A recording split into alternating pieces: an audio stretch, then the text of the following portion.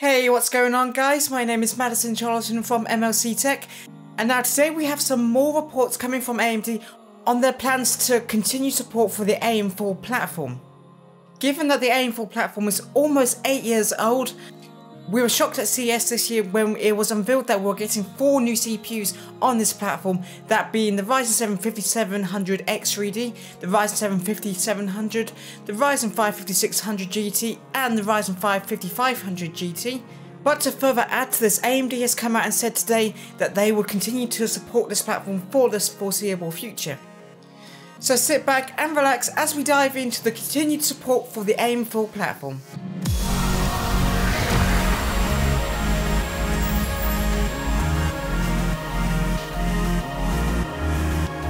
Now this news is coming directly out of the mouth of AMD's technical marketing and quite frankly I was very surprised with the direction AMD is taking the AM4 platform to this day.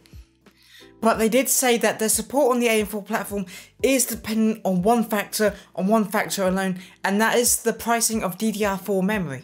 And they said AMD will keep supporting the AM4 platform until the cost of producing older DDR4 memory becomes more expensive than DDR5.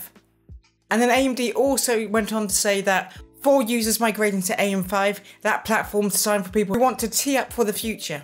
Now we saw the same trend with DDR3 memory when DDR4 came out, Though this was when manufacturers actually stopped supporting DDR3, the scarcity of that memory skyrocketed in price because, well, no one was buying it and no one was producing it in near enough volume, so that's why the prices skyrocketed. Whereas if AMD continues to provide active support for a platform that uses DDR4 memory, then that actually keeps the demand and need for DDR4 at a reasonable level, so it's gonna actually extend the longevity of DDR4 until we see it skyrocket in price due to the scarcity and the unavailability of the memory as like I said, no one's producing it in volume and no one's buying it in volume. Whereas if there are still platforms out there that support and use DDR4 and people are still buying new processors for this platform, let's guarantee over the viability of DDR4 for the near future. But doesn't AMD want people to upgrade to the latest and greatest AM5 platform? Well, in short, they certainly do, but AMD wanted to make it clear that AM5 is for those with an eye on the future of hardware. Now, it's been well over a year since the launch of the Ryzen 7000 line of CPUs, which has been ample time for users to decide whether to upgrade or stick around with AM4. And while AM4 does boast the latest memory technologies and PCI standards such as DDR5 and PCI 5.0, and there are some great compelling reasons to, for some users to stick with AM4. This now includes even more ongoing support for this very platform.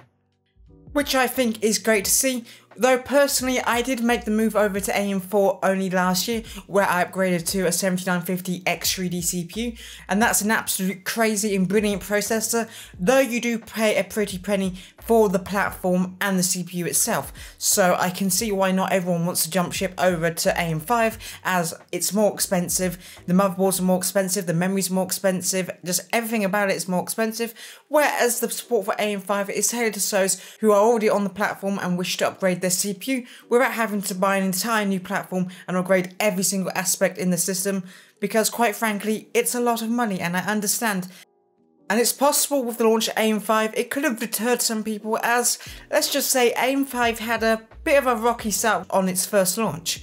Now, a lot of these issues have been resolved, but first impressions can make a very big difference. For example, the relationship with his AGESA microcode and the DDR5 memory standard could be described as rocky at best, and there were also the SoC voltage issues and instability above specification frequencies, and this was a problem that prevented users from pushing the limits of DDR5 capabilities, which to be fair compared to other platforms such as Intel is a bit of an issue. For example, on my 7900X3D, the maximum speeds, the maximum memory frequencies I've been able to push on my RAM is 6000 megahertz.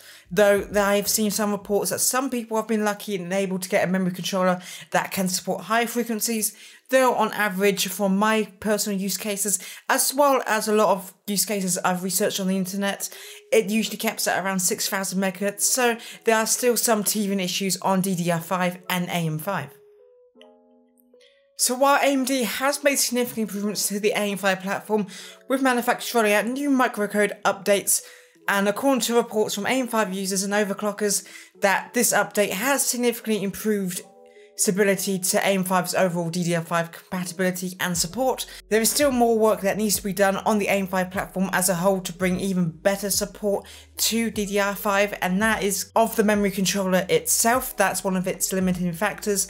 So it remains to be seen what future generations of AM5 have in store, but like I said earlier in the video, I'm super happy with my time and experience on AM5. Yes, more work needs to be done, but I'm super happy with my experiences so far. And AMD plans to then support AM5 for the next couple of years at very least. Then again, they did say this very same thing with AM4, and almost 8 years later, they're still trying to support this platform, which I think is absolutely brilliant to see. And the longevity of AM4 itself was one of the biggest factors behind the success of AMD's Ryzen line of CPUs and the fact that beyond 2024 they're still committed to bringing out more support for the AM4 platform. This is really good to see as it widens the gap and accessibility for people to be able to upgrade the CPUs to more modern levels of performance. For example, if someone's still on first, second gen or even third gen Ryzen, they could potentially get a brand new CPU that comes out next year and they only need to upgrade the CPU itself. They don't need to get a new cooler, they don't need more RAM, a new motherboard or anything. It means upgrading your PC has never been easier and has never been so accessible. This means people can get up to speed on their CPU performance when it comes to the latest and greatest gaming titles without having to spend an absolute fortune to upgrade every single aspect of their computer as that would involve having to upgrade every single aspect of your PC. Like I said, we're going over to new DDR5 standards, which is even more money compared to DDR4, um, new motherboards, new CPUs, new everything, whereas Continued support for AM4 is great to see as it means more people can game for longer without having to spend an absolute fortune, so we're not isolating PC buyers that are on lower budgets compared to people who are able to upgrade to the latest and greatest AM5 and latest Intel platforms. So I think this is a really great move from AMD.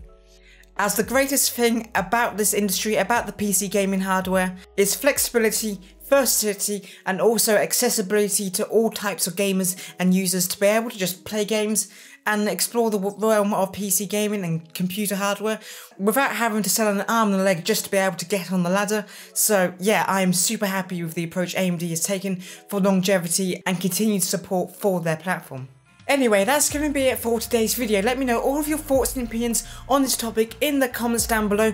Are you someone who's still on AM4 and will be interested in upgrading to a future AM4 CPU? Or are you looking to move into an entirely new platform, whether that be in the latest AM5 platform? Or are you eyeing up the potential leaks and rumours of Intel's latest platform? Let me know all of that in the comments down below as I would love to know what you're thinking. Anyway, I have been Madison Cholerton from MLC Tech. Thank you so much for watching today's video. If you liked it in any way, shape or form, make sure to give this video a like and maybe subscribe for more content like this in the future. Anyway, thank you once again for watching today's video and I hope to see you in another video soon. Goodbye for now.